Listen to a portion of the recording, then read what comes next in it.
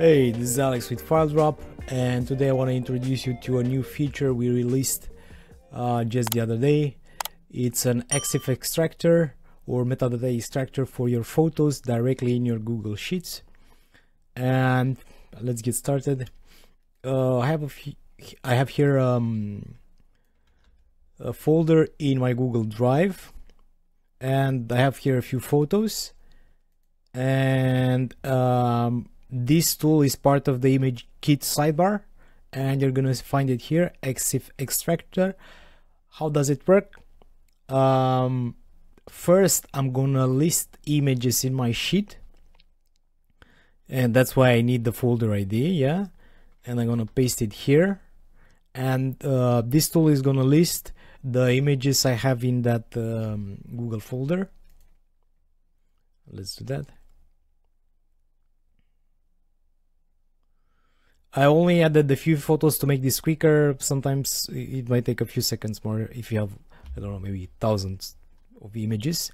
Um, okay, now I have my um, images here. I have the URL and this is what I need uh, to start extracting the EXIF data from these uh, photos.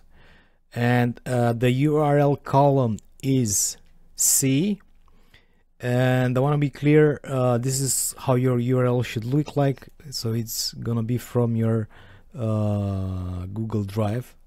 Currently it doesn't work with other types of URL so I'm gonna add here C and uh, I want to start with column D. Oh no E. So from this column on uh, it's gonna list the EXIF data of these photos and extract EXIF data. Of course, depending on the number of images you have, it might take a bit for uh, the information to display and here it didn't take so long. Uh, I have a mix of photos, some I've downloaded from the from pexels.com and some I've made with my iPhone and I uploaded them in the um, folder there and you can see here uh, these have a lot more information than the photos from the um, pexels.com uh, repository. These only have height and uh, width. But my photos, as you can see, they have white balance, they have the um, location, latitude and longitude, and plus all the other camera uh, details.